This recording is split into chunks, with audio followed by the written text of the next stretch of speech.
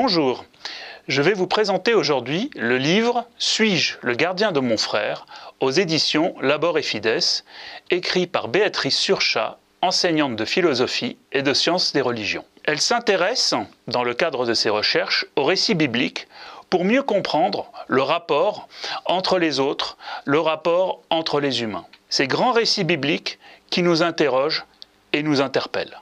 Le thème abordé par ce livre est celui de la responsabilité. Béatrice Surchat se base sur le récit du premier meurtre de la Bible, celui d'Abel par son frère Caïn, et plus particulièrement de l'interrogation de Caïn Suis-je le gardien de mon frère? Il s'agit donc de la Genèse, le chapitre 4, du verset 1 à 26. Donc, ce texte nous parle donc de Caïn, de sa conception, donc la conception de, de Caïn, sa descendance. Le premier verset euh, nous dit L'homme connut Ève, sa femme, et elle devint enceinte. Enfanta Cain et dit J'ai procréé un homme avec le Seigneur. Cain est en quelque sorte le premier homme né d'une femme. Le récit se termine avec la descendance de Cain et le remplacement d'Abel par Seth. Hein, on lit Adam s'unit encore à sa femme et ils eurent un fils. Ève l'appela Seth, elle disait en effet Dieu m'a accordé un autre fils à la place d'Abel que Caïn a tué. Seth à son tour eut un fils, il l'appela Enos.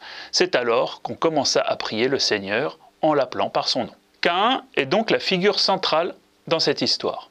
Le premier homme né d'une femme, mais aussi le premier meurtrier, le premier criminel de l'humanité.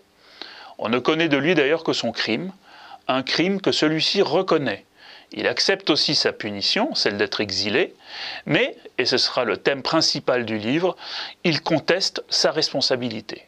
Suis-je le gardien de mon frère?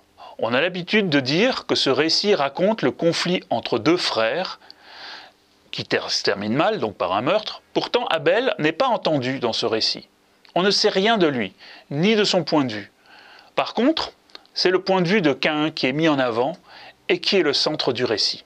Cet homme, Caïn, souvent considéré comme l'archétype du meurtrier brutal, est non seulement le premier homme procréé, comme on l'a vu, mais aussi celui qui fonde la première ville et qui est à l'origine de la civilisation. Ses enfants, notamment, inventeront le travail du fer et la musique. Pour l'auteur, cette évolution étonnante du meurtre cruel à la civilisation repose sur l'évolution de son rapport à la responsabilité. Alors quelle est cette responsabilité? Cain et Abel sont frères. Ils sont distincts mais semblables.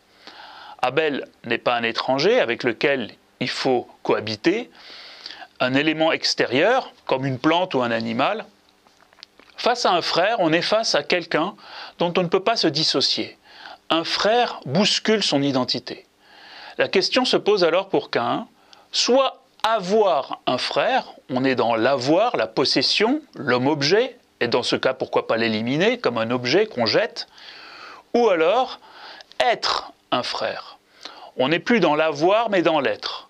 L'auteur explique qu'être un frère oblige à se redéfinir et surtout à être responsable.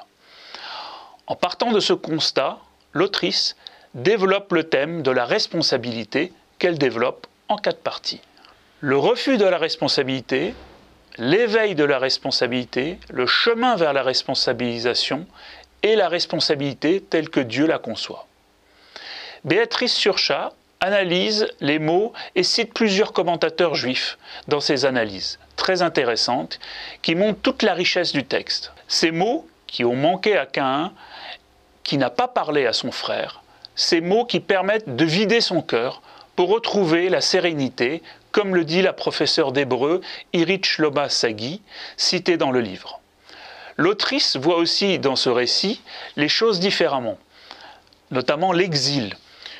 Au lieu d'être considéré comme une punition, c'est au contraire une voie salvatrice que Dieu propose à Cain, en le mettant en état de fragilité et par conséquence lui permettant d'être dans ce contexte à l'écoute de la fragilité d'autrui la confiance se construisant bien mieux que dans un rapport de force. Ce qui m'a frappé le plus dans ce livre, c'est la pertinence de la Bible, son actualité, 3000 ans plus tard, que l'on soit croyant ou pas, ce texte garde toute sa fraîcheur et toute sa pertinence dans ses récits sur l'homme, ses comportements et ses travers. Ce livre nous permet d'explorer un texte biblique de 26 versets dans les détails et nous montre par cet exemple que la Bible est un livre d'une extrême richesse qui nous permet de comprendre le monde mais aussi qui nous donne les clés pour le réparer.